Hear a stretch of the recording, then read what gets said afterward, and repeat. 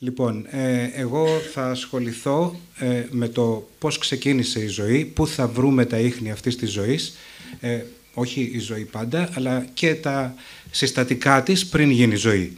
Γι' αυτό ο τίτλος της ε, ομιλίας μου είναι «Τα εργαστήρια της ζωής στο σύμπαν» και είναι πληροφορίες που παίρνουμε από δύο επιστήμες, την επιστήμη της αστροχημίας και την επιστήμη, Ωραία. και την επιστήμη της αστροβιολογίας.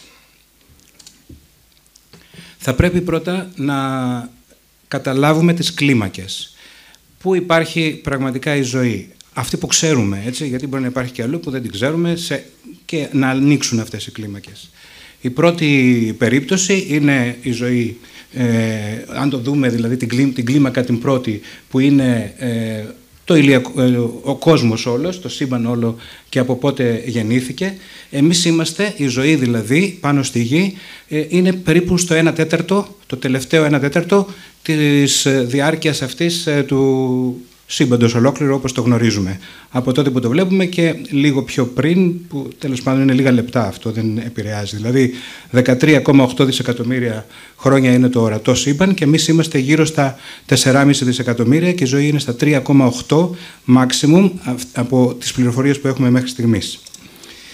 Το, η δεύτερη κλίμακα που πρέπει να καταλάβουμε είναι ότι η ζωή, αυτή που ξέρουμε πάλι, επιμένω, απαντάται σε μια υπέρλεπτη ζώνη πάχους που είναι περίπου το 0,08% της ακτίνας της Γης και αυτή η ζώνη λέγεται βιόσφαιρα. Υπάρχει η ατμόσφαιρα που είναι γύρω στα 480 χιλιόμετρα, η τροπόσφαιρα στα 10 χιλιόμετρα, η βιόσφαιρα είναι γύρω στα 5 χιλιόμετρα. Ε, υπολογίζοντας την επιφάνεια της γης μας, το φλοιό δηλαδή την επιφάνεια εδώ που ζούμε εμείς, που υπάρχουμε εμείς και κάποια χιλιόμετρα σε βάθος που με την επιστήμη της αστροβιολογίας έχουμε βρει ότι υπάρχουν μικροοργανισμοί. Τώρα βέβαια εμείς σαν άνθρωποι έχουμε επεκτείνει αυτή τη ζώνη στο περίπου 12 χιλιόμετρα γιατί αυτή τη στιγμή πολλά αεροπλάνα πετάνε και πάρα πολλοί άνθρωποι βρίσκονται στα περίπου 10 χιλιόμετρα από την επιφάνεια. Αν πάρουμε και τους ανθρώπους που υπάρχουν στο Διεθνή Διαστημικό Σταθμό πάμε γύρω στα 410 χιλιόμετρα και αν πάμε στη Σελήνη, άνθρωποι πάνε στη Σελήνη ή όταν πήγανε, είχαμε επεκτείνει αυτή τη ζώνη στα 340.000 ε, χιλιόμετρα, έτσι για τις κλίμακες. Ε, αλλά μέσα σε αυτή την πολύ λεπτή ζώνη που σας είπα προηγουμένως, των 5 ε, χιλιόμετρων, υπάρχει μια εξαιρετικά μεγάλη ανομοιομορφία. Κυρίως γεωλογική είναι αυτή η ανομοιομορφία, που είναι σε μακροκλίμακα και βλέπετε εδώ διάφορες ε, φωτογραφίες από ε, γεωλογικές ε, τοποθεσίες που πραγματικά είναι ξεχωριστές η μία από την άλλη, τελείως διαφορετικές φυσικοχημικές ε, συνθήκες που μπορεί να είναι ορυκτά, μπορεί να είναι πετρώματα, μπορεί να είναι τα σπήλαια, άλλες συνθήκες στα σπήλαια. Υπάρχουν ε, ε, ε πηγές σε, σε, σε μεσοκιάνιες ράχες, ε, όπου έχεις τις ατμίδες, τις μαύρες ατμίδες εκεί, που, και εκεί υπάρχει ζωή που παλιότερα δεν γνωρίζαμε. Για να μην τα αναφέρω όλα, θα πάω και στην μικροκλίμακα, που είναι ουσιαστικά επιφάνειες ορυκτών, αργυλικά ορυκτά για παράδειγμα, όπως αυτά εδώ και αυτό εδώ, ε, και υπάρχουν και ε, άλλες, ε, υπάρχουν πόροι μέσα στα πετρώματα που και εκεί μπορεί να αναπτυχθεί ζωή. Βέβαια αυτή η φωτογραφία που σας δείχνω εδώ δεν είναι από την Γη, αλλά υπάρχουν παρόμοιες στη Γη. Αυτή είναι από συγκεκριμένο δείγμα του Άρη, από μετεωρίτη του Άρη. Λοιπόν, όλα αυτά, όλη αυτή η ανομοιομορφία ουσιαστικά είναι και ένα αποτέλεσμα της, του τρόπου γένεσης της γης μετά από τον τελευταίο σφοδρό βομβαρδισμό ε, της γης μας. Που αυτός ο βομβαρδισμός συνέβη στα 4,1 με 3,8 δις χρόνια, διήρκησε δηλαδή τόσο, και ουσιαστικά ήταν σώματα του ηλιακού μας συστήματος, τα οποία πέφτανε πάνω στους πρώτους πλανήτες. Οι πλανήτες μας σχηματίστηκαν από αυτά, αλλά συνεχίστηκε μετά ο βομβαρδισμός αυτός, αφού είχε ήδη σχηματιστεί ο, η σφαίρα της γης μας και των άλλων πλανητών, και ο Άρης και η Αφροδίτη και δεχόντουσαν μετεωρίτες, δεχόντουσαν ε, κομήτες, δεχόντουσαν κάποιους αστεροειδείς και τελικά ε, έτσι σχηματίστηκε η Γη, αλλά στα 4,1 με 3,8 δισεκατομμύρια χρόνια η Γη ήδη υπήρχε, ε, σε πολλά σημεία της ήταν πύρινη μάζα, ε, βέβαια ε, οι μετεωρίτες την αναδιοργανώνανε, ξανά τη και έτσι ο φλοιός υπήρχε και δεν υπήρχε. Λοιπόν, μετά, ε, στα 3,8 δις, αυτή είναι μία εκτίμηση, ξεκινάει η ζωή. έχουμε κάποια απολυθώματα που θα σας δείξω, που νομίζουμε ότι είναι απολυθώματα. Θα καταλάβετε ότι είναι δύσκολο να αποφασίσουμε τι είναι απολύθωμα και τι δεν είναι απολύθωμα, ανάλογα πώς το βλέπουμε αυτό βεβαίως. Ε, σίγουρα είμαστε στα 3,4-3,5, εκεί και μετά ε, έχουμε απολυθώματα σίγουρα. Λοιπόν, και ε, σε αυτό όλο το, ε, στη γη αυτή στα, υπάρχουν μικροπεριβάλλοντας στην επιφάνειά της που μια πρωτόγονη μορφή ζωής πιθανότατα υπήρχε. Δεν το ξέρουμε, δηλαδή αυτή, το, αυτά τα μικροπεριβάλλοντα που λέω στον τελευταίο σφοδρό ε, βομβαρδισμό και λίγο μετά είναι ε, εκεί που πιστεύουμε ότι υπήρχε μια πρώτη ζωή η οποία δεν έχει μείνει έχει εξαφανιστεί, γιατί μετά φυσικά αρχίσαν οι τεκτονικές κινήσεις και η ανακύκλωση του φλοιού της γης, οπότε παλιά πετρώματα έχουν εξαφανιστεί. Δεν, μπορούμε να, δεν έχουμε πρόσβαση πλέον, δεν, αυτή η πληροφορία έχει χαθεί. Γι' αυτό ε, και ψάχνουμε αυτή την πληροφορία σε άλλους πλανήτες, όπως για παράδειγμα είναι ο Άρης. Εδώ σας δείχνω δύο παραδείγματα από τα αρχαιότερα πετρώματα που έχουν διασωθεί, που θεωρούμε όμως τα, ότι έχουν ε, απολυθώματα. Δηλαδή στη Γρυλανδία έχουμε αυτά που λέμε banded iron formations, είναι 3,872 ε, δις ε, χρόνια και ουσιαστικά αυτά είναι ειζήματα τα οποία έχουν προκύψει από την εξαλείωση κάποιων άλλων ε, πετρωμάτων και αυτά τα ειζήματα έχουν σχέση, όσο τα ξέρουμε και τα έχουμε διερευνήσει, έχουν σχέση με ύπαρξη ζωής. Και δεξιά είναι κάποιοι πιθανοί στρωματόληθοι, για αυτούς δεν είμαστε πολύ σίγουροι, για άλλους είμαστε πολύ σίγουροι, στρωματόληθοι που είναι αρχαίοι, ε, σαν αρχαία κοράλια. Έτσι, σαν κοράλια είναι πολύ αρχαία, αλλά είναι οι μοναδικοί οργανισμοί που υπάρχουν ακόμα και σήμερα. Δηλαδή, αν πάτε σε κάποιες παραλίες, θα βρείτε στην Αυστραλία, ειδικά θα δείτε στρωματόλιθου. Αυτή είναι στο 3,45 δις. Δηλαδή, με αυτό θέλω να δείξω ότι από, τα, από τότε που τελείωσε ο τελευταίος φοδρό βομβαρδισμός, πολύ γρήγορα δημιουργήθηκε η ζωή. Τώρα, μια, λίγες φωτογραφίες εδώ για το πώς φαίνονται αυτά τα πολυθώματα. Κάποτε αυτά τα αγνοούσαμε. Τα βλέπαμε, οι πετρολόγοι, οι ορυκτολόγοι, αλλά τα αγνοούσαμε, δεν καταλαβαίναμε τι είναι. Με την επιστήμη της αστροβιολογίας και ψάχνοντας το κάτι παραπάνω, ανακαλύψαμε, για παράδειγμα εδώ αριστερά, ε, είναι κάτι τάνελες, πολύ μικρά, ε, τούνελ, πολύ μικρά τούνελ. Έτσι, ε, αυτά δεν ξέραμε τι είναι, λέγαμε ότι είναι ανόργανης φύσης, αλλά τελικά μέσα εδώ βρίσκουμε οργανικά. Και τι είναι, είναι βακτήρια που τρώνε τα πετρώματα. Τρώνε δηλαδή τα ορυκτά, τρώνε το γυαλί, το, το ηφαιστειακό γυαλί και αναπτύσσονται σιγά σιγά και ε, σε βάθος. Ε, οπότε πλέον ξέρουμε ότι αυτά εδώ πέρα είναι ζωή. Και μπορούμε να πάμε με, τα, με τις τεχνικές δυνατότητες που έχουμε τώρα, να πάμε μέσα σε αυτά και να αναλύσουμε. Έχουμε βρει και DNA μέσα σε τέτοια μικροτούνελ.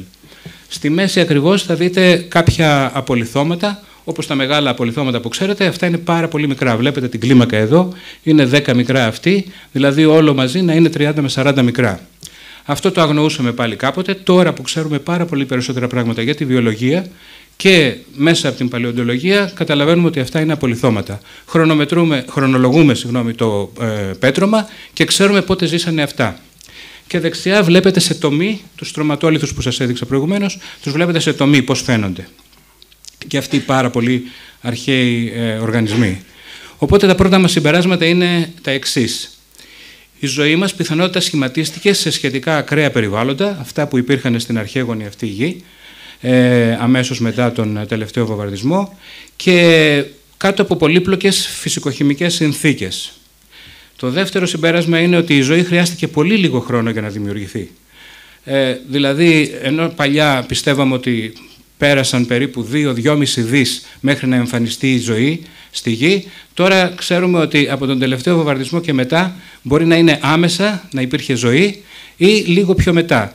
Και αυτό πάλι με σιγουριά δεν το λέμε, γιατί όπως είπα προηγουμένως έχουμε χάσει πληροφορία, άρα μπορεί να είναι και στον τελευταίο, ε, δηλαδή τα πρώτα πειράματα δημιουργίας ζωής πάνω στην ε, ε επιφάνεια της γης να γινόντουσαν ήδη ε, κατά τη διάρκεια του τελευταίου βομβαρδισμού.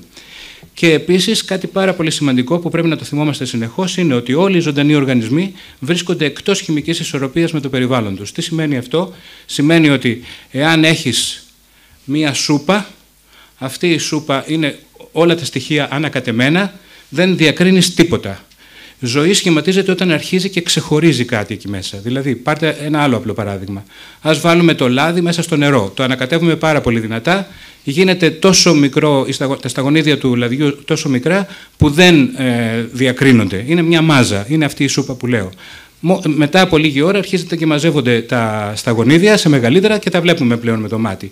Εκεί αρχίζει και ξεχωρίζει πλέον ο οργανισμός, ο μικροοργανισμός ας πούμε. Και είναι διαφορετικός χημικά από το νερό γύρω του.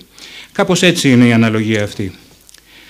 Λοιπόν, οπότε γνωρίζοντας όλα αυτά τα πράγματα, θα πρέπει να καταλάβουμε τώρα πού θα αναζητήσουμε ενδείξεις για την αρχή της ζωής μας. Ενδιαφέρει η αρχή της ζωής, γιατί το υπόλοιπο το ξέρουμε, να είμαστε εδώ πέρα όλοι μας, το έχουμε μελετήσει πολλαπλώς. Υπάρχουν πάρα πολλά βιβλία βιολογίας που το λένε. Εμάς μας ενδιαφέρει να μάθουμε για την αρχή της ζωής. Εδώ μπλέκονται δύο επιστήμες που ουσιαστικά η μία καλύπτει σε μεγάλο βαθμό την άλλη. Είναι η αστροχημία, όπως είπαμε προηγουμένως, και η αστροβιολογία. Η αστροχημία μας δείχνει και μας λέει ότι στα διαστρικά ε, νεφελώματα και στους πρωταστέρες έχουμε τα πρώτα οργανικά μόρια, που, ε, δηλαδή έχουμε την ανόργανη χημεία που πλέον γίνεται οργανική χημεία.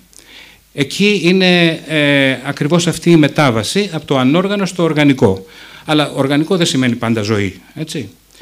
Και το δεύτερο είναι ε, από την αστροβιολογία, που η αστροβιολογία ουσιαστικά μελετάει την επιφάνεια του πλανήτης μας και σε κάποια βάθη μέσα σε σπήλαια, δηλαδή ή με γεωτρήσεις, αλλά και τώρα σε άλλους πλανήτες, όπως είναι ο Άρης, και σε εξωπλανήτες αυτή τη στιγμή. Λοιπόν, εκεί, σε αυτά τα περιβάλλοντα που, της βιόσφαιρας που σας έδειξα στην αρχή αρχή, στη μικρή, πολύ λεπτή αυτή φλούδα, ε, έχουμε την οργανική χημεία πλέον που γίνεται βιολογία.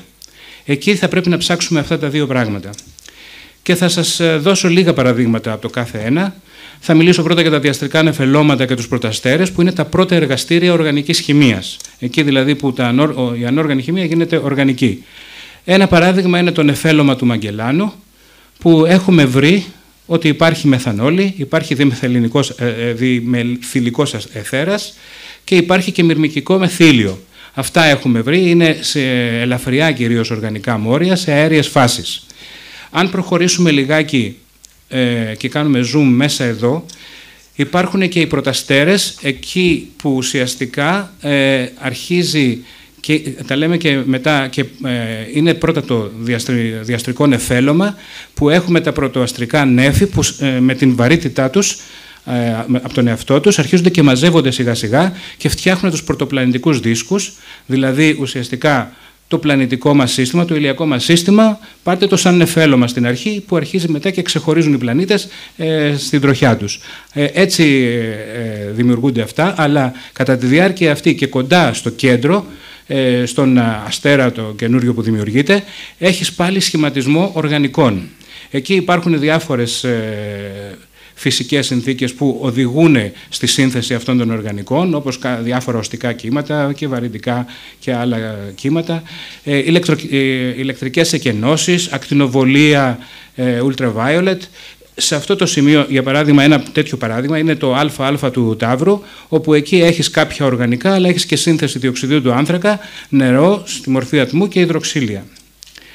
Τώρα, αφού έχει δημιουργηθεί ε, το ηλιακό μας σύστημα και πάμε στην εποχή πλέον που έχουμε δημιουργήσει τους πρώτους μας πλανήτες, έτσι. Ε, φυσικά είπαμε ότι παρόλο που υπάρχουν αυτά τα οργανικά, στη γη μας επάνω, επειδή υπάρχουν πολλές συγκρούσεις, έντονες συγκρούσεις, μπορεί να καταστρέφονται αυτά τα οργανικά που έχουν δημιουργηθεί. Αλλά μετά ε, από, το, από την πτώση, την έντονη πτώση μετεωρητών, αρχίζουν και συνεχίζουμε να έχουμε μετεωρίτες, ακόμα και σήμερα έχουμε μετεωρίτες, πάρα πολλούς που πέφτουν. Λοιπόν, υπάρχουν οι κομήτες, υπάρχουν οι αστεροειδείς και υπάρχουν και οι μετεωρίτες που ακόμα είναι στο διάστημα και δεν έχουν πέσει πάνω στη γη, οι οποίοι περιέχουν τέτοια πληροφορία. Αυτή είναι τα αρχαία ε, κομμάτια, μικρά κομμάτια, μικρά σώματα στο ηλιακό μας σύστημα, σαν τη γη, ε, αλλά με πιο πρωτόγονες συνθέσεις, ε, γιατί η γη μας έχει διαφοροποιηθεί έχει αλλάξει χημικά με τον χρόνο και λόγω της βαρύτητας και του όγκου της και οι άλλοι πλανήτες βεβαίως. Αυτοί όμως διατηρούν ακόμα την ιστορία αυτή, δηλαδή τα πρώτα οργανικά. Και θα σας δώσω δύο παραδείγματα. Υπάρχει ένας μετεωρίτης που λέγεται Μάρκισον, ε, Αυτός ε, έχει πέσει το 1969 στη Βικτόρια της Αυστραλίας, στην περιοχή Μάρτσισον και περιέχει, είναι το δείγμα μας που περιέχει πάρα πολλά αμινοξέα. Ε, τα αμινοξέα είναι δομικές μονάδες των πρωτεϊνών, πολύ σημαντικές στη βιολογία, το ξέρετε όλοι. Ε, με κύριο τη γλυκίνη που είναι σε μεγαλύτερη ποσότητα, έρχεται η αλανίνη σε μικρότερη και μετά πολλές άλλες και συνέχεια βρίσκουμε καινούρια οργανικά. Επίσης οργανικά σε κομίτες. Ίσως ξέρετε όλη την αποστολή Ροζέτα που πρόσφατα ε, έκλεισε, αλλά συνεχίζουν κάποιες ομάδες να δουλεύουν, ψάχνοντας κυρίως οργανικά. Έχουν πάρει και άλλες πληροφορίες βέβαια, αλλά στη, σε αυτά που μας ενδιαφέρουν είναι τα οργανικά εδώ και έχω δουλέψει με την ομάδα αυτή. Ε, στον κομίτη, φτάσαμε στον κομίτη 67P με το το Ροζέτα και ε, ο κομίτης αυτός λέγεται Τσιρίμοφ Γκερασιμέγκο. Εκεί βρήκανε πολλά οργανικά. Εδώ γράφω πιθανή ύπαρξη οργανικών γιατί είναι πολύ δύσκολη η ερμηνεία. Εδώ έχεις πολύπλοκα φάσματα μάζας που είναι πολύ, ε, ε, πολύ δύσκολο να τα ερμηνεύσεις. Για παράδειγμα, κάτι που δεν λέω εδώ πέρα, είναι χαρακτηριστικά, υπήρχε ένα πρόβλημα, ε, όπως μια σιλικόνη που είχαν βάλει να κολλήσουν κάποια πράγματα, μόλυνε τελείως τα δείγματα. Και με αποτέλεσμα μέσα, με, με όλα τα θράψματα αυτά του μορίου ε, της σιλικόνης, να μην μπορείς να αναγνωρίσεις αυτά τα οργανικά. Αλλά υπάρχει κάποια ερμηνεία που κλείνει προς το ότι ναι αυτά τα οργανικά υπάρχουν, όπως επίσης έχουν βρει και γλυκίνη που είναι ένα αμινοξύ και φυσικά φόσφορο ο οποίος είναι σημαντικός για το RNA και το DNA. Δηλαδή υπάρχει πάντα, χρειάζεται ο φόσφορος για να υπάρξει το DNA και το RNA. Τώρα, αν πάμε στην κλίμακα της φλούδας αυτής της λεπτής της βιόσφαιρας, δηλαδή πάνω στη γη μας, θα πρέπει για να δημιουργήσουμε ζωή, αλλά όχι μόνο στη Γη και σε άλλους πλανήτες και στον Άρη για παράδειγμα, για να δημιουργηθεί ζωή θα πρέπει να υπάρχει κάτι. Έτσι. Το σημείο αναφοράς μας, αυτό το κάτι, είναι η γεωλογία. Είναι τα υλικά τα γεωλογικά και τα περιβάλλοντα τα γεωλογικά. Είναι πάρα πολύ σημαντικό αυτό. Γιατί εκεί, πάνω εκεί, πρέπει να καθίσουν αυτά τα οργανικά και να συγκεντρωθούν, να γίνουν πολλά μαζί σε έναν μικρό όγκο ε, για να μπορέσουν να αντιδράσουν. Έτσι, πόρους από ορυκτά, ε, ρογμές από πετρώματα ή πάνω στην επιφάνεια των ορυκτών αυτών μπορούν να προστροφηθούν ή να, να γίνει κατάλυση αυτών ε, πάλι στις ίδιες επιφάνειες και να, να αρχίσουν αντιδράσεις. Να αρχίσουν αντιδράσεις που τα μικρά αυτά μόρια, ε, τα οργανικά, να γίνουν μεγαλύτερα, να γίνουν μακρομόρια. Επίσης αυτές οι επιφάνειες έχουν τη δυνατότητα να προσανατολίζουν τις τρισδιάστατες δομές των οργανικών μορίων με αποτέλεσμα να ε, να προεξοφλούν καλύτερα κάποιες αντιδράσεις σε σχέση με κάποιες άλλες. Και τέλος, ε, πάνω πάλι σε αυτές τις επιφάνειες γίνεται πολυμερισμός ορυκτών, έτσι, επιφάνειες ορυκτών γίνεται πολυμερισμός. Δηλαδή έχεις μονάδες ίδιες, οι οποίες κολλάνε μεταξύ τους ή και διαφορετικές σε αναλλαγές κολλάνε μεταξύ τους, όπως είναι το RNA και το DNA, κολλάνε μεταξύ τους και γίνονται μακρομόρια, με, μια, ε, με τη φυσική διαδικασία της αυτοσυναρμολόγησης και αυτοοργάνωσης. Άρα αυτά τα τρία πρέπει να τα δούμε σε ένα περιβάλλον για να, τα, ε, για να υπάρξει ζωή. Έτσι έχουμε καταλάβει μέχρι στιγμής.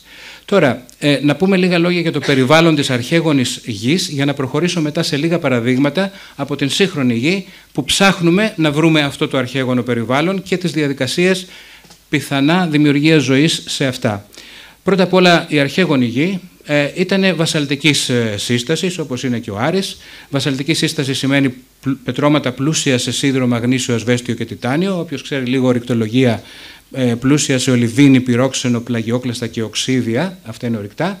Υπήρχε νερό, δηλαδή υπήρχε και ρευστό νερό, ήδη πάρα πολύ νωρίς, δηλαδή στα 4,36 δισεκατομμύρια χρόνια, και αυτό το ξέρουμε από ζυρκόνια, ε, που είναι ορυκτάκια τα οποία βρίσκονται σε πετρώματα, τα οποία τελικά έχουν καταστραφεί αυτά τα πετρώματα, αλλά τα ζυρκόνια είναι αρκετά ανθεκτικά, πάνε στα επόμενα πετρώματα ε, που έχουν σχηματιστεί αργότερα από τα ιζηματογενή, ε, από τα, προηγούμενο, από τα προηγουμένως καταστραμμένα και έτσι διατηρούν την πληροφορία αυτή μέσα τους ενώ βρίσκονται σε καινούργια πετρώματα που έχουν διασωθεί από τις τεκτονικές κινήσεις και μπορούμε να, τα, να πάρουμε δείγματα. Άρα καταλαβαίνουμε ότι από αυτά τα δείγματα που εμείς παίρνουμε, τα πετρώματα αυτά, υπήρχε ένα άλλο προηγούμενο πέτρωμα που έχει καταστραφεί, που σημαίνει νερό. Εδώ, διάβρωση. Ε, το ρευστό νερό πάντα βρίσκεται κοντά στα πετρώματα, γιατί αυτά τα πετρώματα είναι και σχετικά ζεστά, αλλά σε μακρύτερες αποστάσεις έχεις αναλλαγές με πάγους. Όξινα νερά πιθανότατα, γιατί η γη μας τότε ήταν πλούσια η ατμόσφαιρα σε διοξείδιο του άνθρακα και το pH ε, ήταν στα 5,8 περίπου, ε, όξινο πάλι, γιατί το διοξείδιο του άνθρακα αυτό της ατμόσφαιρας διαλυόταν μέσα και έκανε όξινη ε, την ε, σύστασή του. Ε, και φυσικά έχουμε και αποδείξεις για πολύ λίγα ανθρακικά ορυκτά, που αν θα υπήρχαν πολλά, σήμαινε ότι θα ανεβαίνει ξανά, δεσμεύουν το διοξείδιο του άνθρακα και ανεβαίνει πάλι το pH και γίνεται πιο αλκαλικό. Ε, υπήρχαν ωκεανοί που ήταν εκτεταμένοι ωκεανοί με λίγες νησίδες ξηράς, αλλά οι ωκεανοί αυτοί είχαν λίγο νερό, ε, ρηχό νερό καλύτερα να το πω. Ε, και φυσικά η γεωλογία ε, που σημαίνει ότι τότε μπορεί να μην υπήρχαν τεκτονικές πλάκες, αλλά υπάρχουν κάποιες ενδείξεις ότι υπήρχαν τεκτονικές πλάκες και κινήσεις και η ατμόσφαιρα φυσικά που έμοιαζε με το φαινόμενο όπως το ξέρουμε του θερμοκηπίου, δηλαδή πολύ διοξείδιο του άνθρακα, πολύ μεθάνιο και πολύ άζωτο από όλα αυτά από ηφαιστειακές, ε, ηφαιστειακής προέλευσης. Τώρα στα σημερινά ε, παραδείγματα, αν πάμε στις μεσοκειάνιες ράχες, δηλαδή στη μέση του Ατλαντικού ωκεανού, θα δούμε τις υποθαλάσσιες ατμίδες. Αυτά είναι ολόκληρα εργοστάσια που παράγουν ορυκτά, αλλά παράγουν ταυτοχρόνως και ζωή. Κάποτε νομίζαμε ότι εκεί δεν υπάρχει περίπτωση. Οι θερμοκρασίες είναι τόσο ψηλές, δεν υπάρχει περίπτωση να υπάρχει ζωή. Πήγαμε με τα υποβρύχια μας, είδαμε λεπτομέρειες, πήραμε δείγματα και ανακαλύψαμε ότι είναι πολύ πλούσια η ζωή εκεί, σε μορφές, σε συνθήκες διαβίωσης κλπ. Ε, οπότε, ε, εκεί γιατί συμβαίνει αυτό; Μια μεγάλη ανομαλία, όπως είπα στην αρχή πάλι, υπάρχει ένα περιβάλλον το οποίο είναι ενεργό και ανώμαλο σε σχέση με το υπόλοιπο. Ε, που αν έχεις ένα πέτρωμα μπορεί να έχει μικρές ανομαλίες των ορεικτών αλλά στην έκτασή του είναι το ίδιο λίγο πολύ. Εδώ έχεις πολλή ενέργεια. Έχεις ένα μεγάλο εύρος θερμοκρασιών στα νερά οπότε μπορεί να υπάρχει και κίνηση από τη μία περιοχή στην άλλη των ε, χημικών στοιχείων. Ε, σχηματίζονται κάποιες φυσαλίδες από μονοσουλφίδια του σιδήρου που ουσιαστικά αυτές τις φυσαλίδες μπορούν, μπορεί η πρώτη ζωή να τις χρησιμοποιήσει σαν ε, το κέλυφός της για να βάλει μέσα τα οργανικά που χρειάζεται και να ε, αντιδράσουν αυτά για να δημιουργήσει τα μόρια που χρειάζεται για να λέγεται ζωή.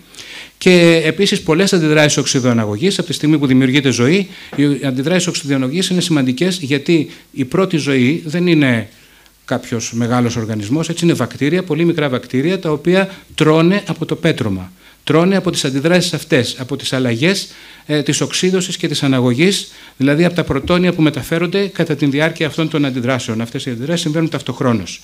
Αλλά σε διαφορετικές, στην ίδια περιοχή ένα interface έχουν που συμβαίνει από τη μία μεριά το ένα οξυδώνεται, από την άλλη ανάγεται και υπάρχει μια μετακίνηση ενός πρωτονίου που το χρησιμοποιούν για ενέργεια ε, οι μικροοργανισμοί.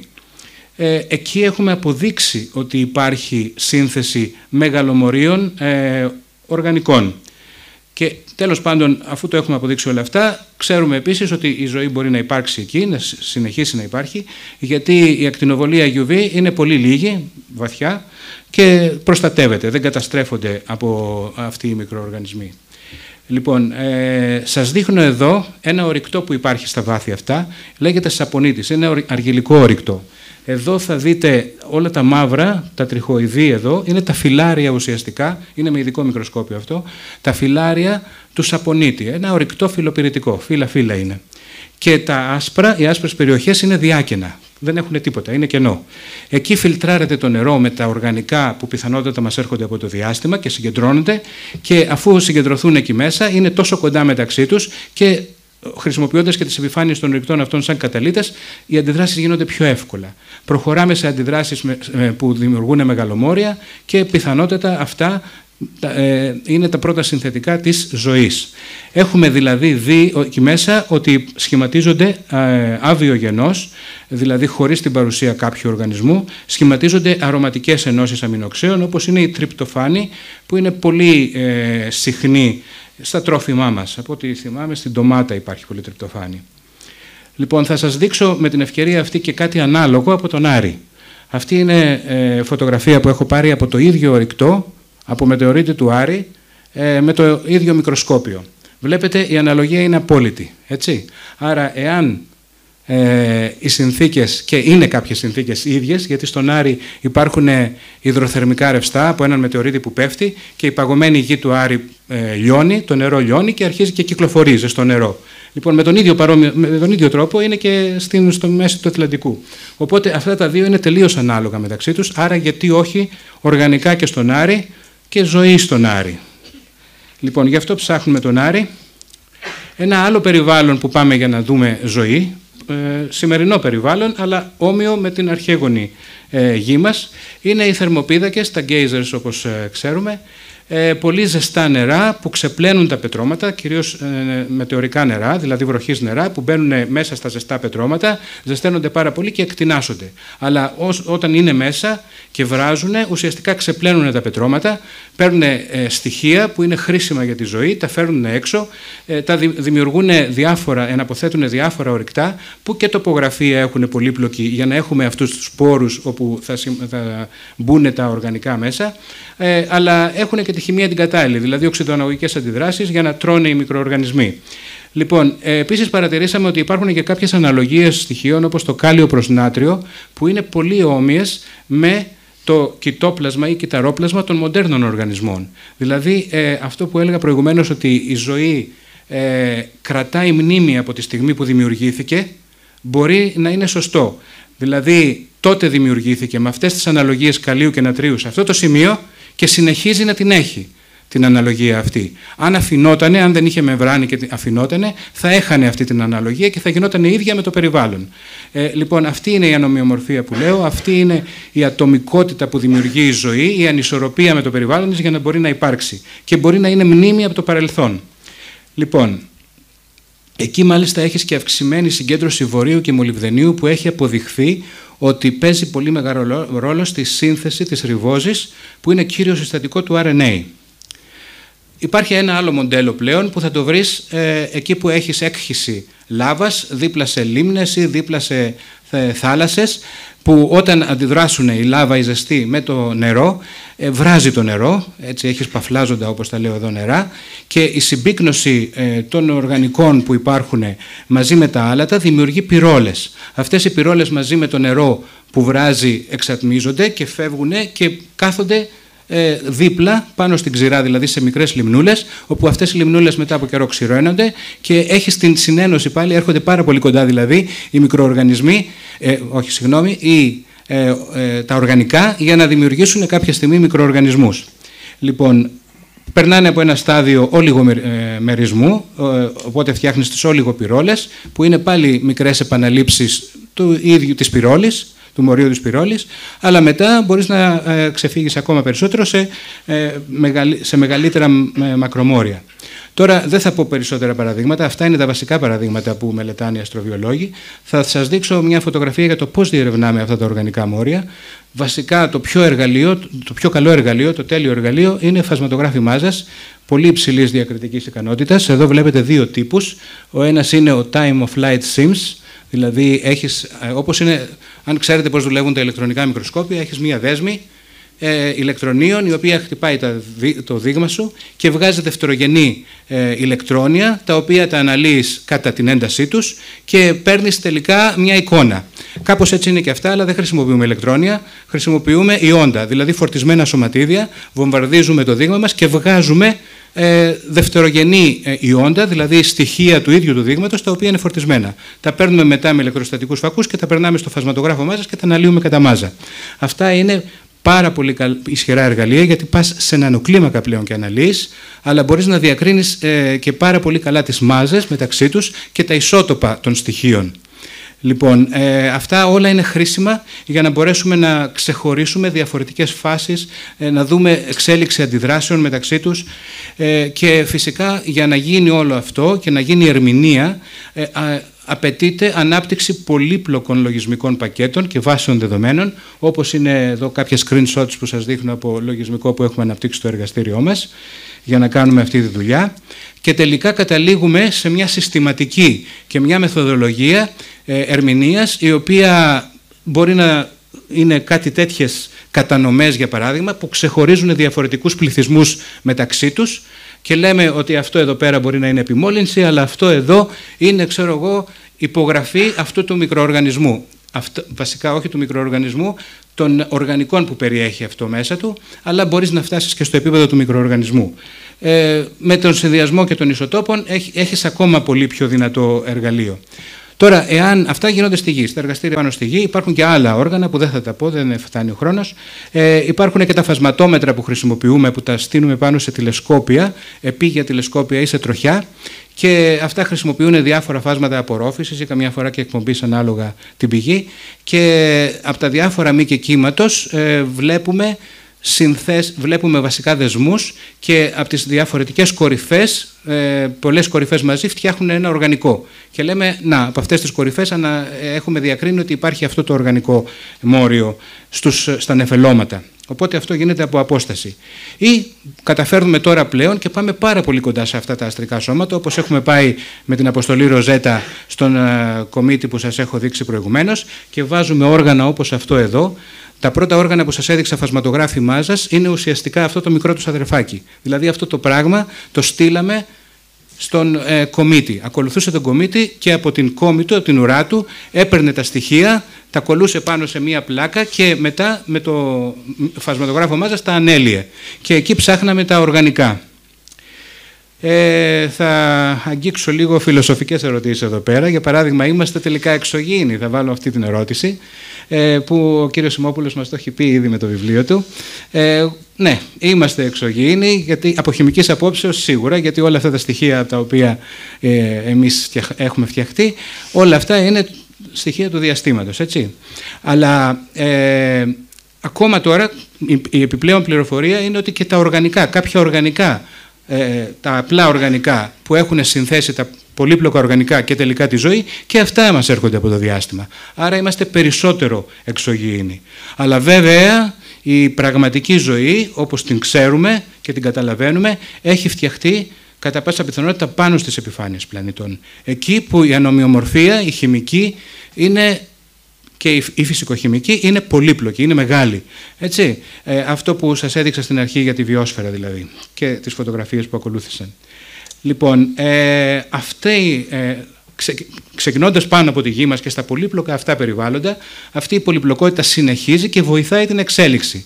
Δηλαδή, όπως σας είπα και προηγουμένως, η ζωή μαθαίνει από το, αυτό, το αρχαίγωνο ανόργανο, τον αρχαίγωνο ανόργανο κόσμο πώς να διαφοροποιείται χημικά και να γίνεται κάτι ξεχωριστό, να γίνεται ένα αυτόνομο ε, on. Ε, και ε, αν αυτό το περιβάλλον κρατάει κάποια χρόνια, τότε αυτή η ζωή μπορεί να συνεχίσει να υπάρχει και να εξελιχθεί λίγο περισσότερο και φυσικά έρχονται μεγάλα γεγονότα, είτε καταστροφικά κάποιες φορές, είτε τα ίδια τα καταστροφικά, για κάποιες περιπτώσεις είναι καταστροφικά, για άλλες περιπτώσεις είναι ε, καινούργιοι μηχανισμοί, καινούργιες ιδέες για τη ζωή να συνεχίσει να υπάρχει. Το μεγάλο οξυδοτικό γεγονός, για παράδειγμα, που έφερε το οξυγόνο στην ατμόσφαιρά μας και υπάρχουμε εμείς αυτή τη στιγμή ε, ήταν αποτέλεσμα, ε, ε, ένα τέτοιο αποτέλεσμα. Δηλαδή το από την ανακάλυψη της ζωής, της φωτοσύνθεσης δηλαδή, της χημικής διαδικασίας που λέγεται φωτοσύνθεση, φτάσαμε να υπάρχουμε και εμείς. Κάποτε οι μικροοργανισμοί μας δεν χρησιμοποιούσαν το φως για να ε, μπορέσουν να υπάρξουν, σαν ενέργεια δηλαδή. Τώρα, ε, από την εποχή εκείνη, περίπου 2-2,4 δις πριν, ε, ε, έχει, υπάρχουν οργανισμοί πλέον, πάρα πολλοί, ξεκινώντας από τα κιανοβακτήρια, που κάνουν αυτή τη δουλειά, χρησιμοποιούν το φως δηλαδή. Και τελικά, όλοι αυτοί οι οργανισμοί, οι ζωντανοί οργανισμοί, μέσω των κοινωνιών, θα το πω για μας, τους ανθρώπους, απικιών για τα βακτήρια και της επικοινωνίας, είτε χημική λέγεται αυτή, είτε οτιδήποτε άλλο, είτε κινητό τηλέφωνο για την περίπτωσή μας, εξασφαλίζουν σημαντικές δεξιότητες ώστε να εκμεταλλευτούν ακόμα καλύτερα το σύμπαν μας. Δηλαδή φτιάχνουμε καινούργια περιβάλλοντα γύρω μας και ε, αλλάζουμε το περιβάλλον πάλι για να μπορούμε να υπάρχουμε εμείς ε, και ε, πάμε παραπέρα, πάμε ακόμα παραπέρα.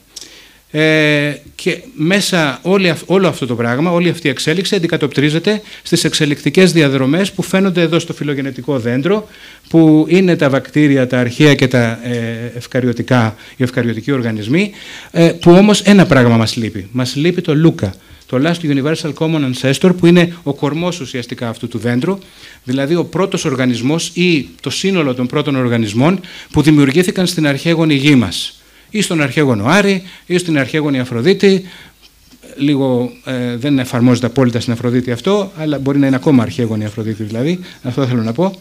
Οπότε γι' αυτό το λόγο ψάχνουμε και στους άλλους πλανήτες. Γιατί εκεί μπορεί να υπάρχει ακόμα αυτή η πληροφορία. Και τελικά κλείνω λέγοντας ότι αυτοί οι οργανισμοί πλέον και μέσα από αυτή την πολυπλοκότητα επεκτείνουν ακόμα τα περισσότερο τα όρια της δράσης τους, ανταγωνίζονται την χημική ισορροπία, κρατώντας χαμηλή την τιμή της ε, εντροπίας για να υπάρχουν σαν μονάδες, να μην γίνουν σούπα δηλαδή, και έτσι ε, διατηρούν με, αυτό, με όλους αυτούς τους μηχανισμούς αυτό που λέμε το θαύμα της ζωής. Σας ευχαριστώ πάρα πολύ.